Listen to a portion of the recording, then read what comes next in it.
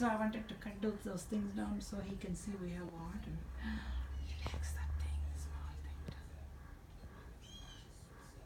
That's right. The bluebird is complaining. I thought I saw him, and I was like, no, couldn't be. That's what I thought it would. He's looking in each water thing. You see, I told you he needs water for thing. We should just go to the big one.